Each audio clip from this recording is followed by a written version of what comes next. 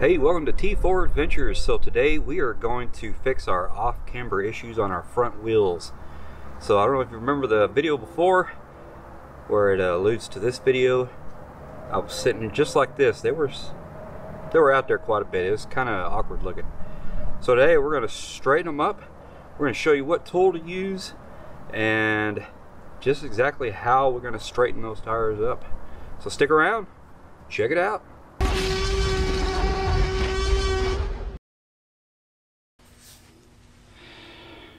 All right, so our uh, tool that we ordered off of Amazon to adjust the suspension, uh, the smaller end does work. However, tightening it, I need to get on the back side of here and the little, uh, I believe it's the brake reservoir is kind of blocking. I can't fully get the tool in there to turn it. So I have to resort to the old flathead screwdriver and mallet. So this is just for the driver's side. I think the passenger side, I don't think we have a whole lot of obstructions over there. So I think we're gonna be good with that tool. It, it, it makes it a lot easier. It goes a lot quicker. So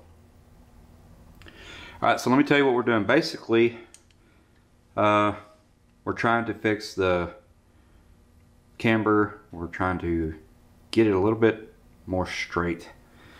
And by adjusting the suspension. So we're going to tighten the suspension. We're going to tighten it down. That's going to try to hopefully force it out this way a little bit. Just a little bit because uh, we're going to get a lot of uneven wear on this side versus the outside and we will rotate the tires as well as we go along. So what I've done, I've taken a red Sharpie and I've just marked one of the dills here.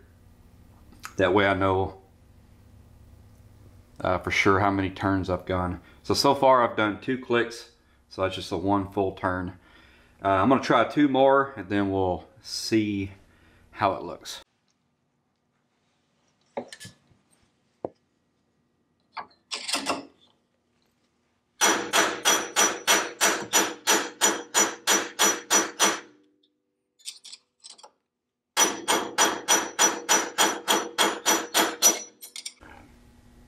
All right, we're on the passenger side now. We've got our uh, locking ring loose. So that's the direction we need to go to, or we need to go the opposite direction to tighten. So I got our jack, floor jack under the machine, we got raised up. We are able to move the tire. So I think we're gonna have plenty of room here to uh, use our tool so we're to come this direction and tighten. First we need to mark it with the red marker so we know uh, how many clicks we've gone. We're just to mark this first one right here. No, not that one. The bottom one. Uh, so we're to mark this one here. It's to be right next to this. And we'll know we have a full click. And that's kind of hard to see that, but you are able to tell once it gets going around. So right, let's give this a try. So this tool, there's a big side and there's a smaller side. The smaller side actually works for this.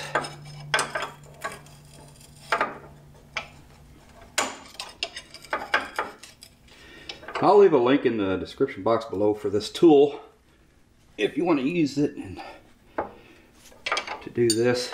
It's uh, pretty much all around good for uh, good all around for uh, now dirt bikes, four wheelers, all that. You may have to get on this back side as well. Maybe. Uh, we might not be able to use this tool. Ah, we'll see what we got.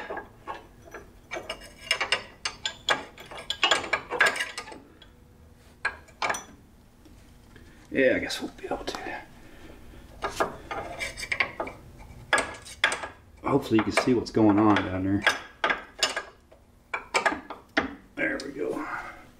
All right, so we're just gonna do uh, four full clicks that's what we did on the other side. And then uh, we'll open up the garage door, we'll back it up out, and uh, we'll compare it to uh, a video that I took before uh, we did this. All right. So I think our off-camber issues are pretty much fixed. I like how the position of the front wheels are compared to where they were. Uh, before they were pretty off camber, something like that. Now they're just about straight up and down. What we have here is just fine. So our tool that we had, uh, it does work on the big side and the small side. And uh, like I said, I'll leave a link in the description box for that in case you want to do this. So it was 20 full clicks on both sides, 20 clicks.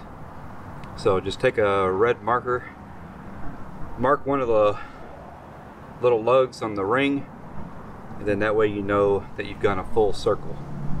So one full circle is one click, so you need to go 20 times. And you want to tighten it, you want to compress it down.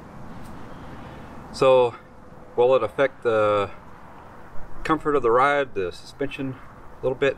Probably just a little. I don't think it's going to be real noticeable. Uh, but I think the off-camber issue is pretty noticeably fixed. So anyway, there we have it. 20 clicks, both sides on the front. Fix our off-camber issues. I think that's going to save some undue wear on the inners of the tires and just give us an overall better track as we're uh, driving along. Hey, thanks for watching T4 Adventures. Uh, if you have been following me along here, I appreciate you coming back. Howdy everybody. If you're new here, I would love for you to go ahead and subscribe. Give me a thumbs up. And it just helps the channel out. Of course it does. It helps every channel out.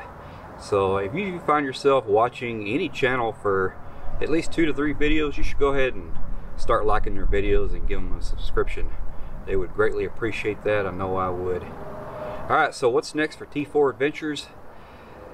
I think we've done quite a bit of maintenance and uh, adding on stuff to the machine here, Turquoise Rex, so I think it's about time for an adventure. So where could we go? Well, it's getting cold, so it's like in the 30s here today here in central Texas. Uh, I think we're going to go somewhere where it's even a little bit colder, maybe a little snow, I don't know.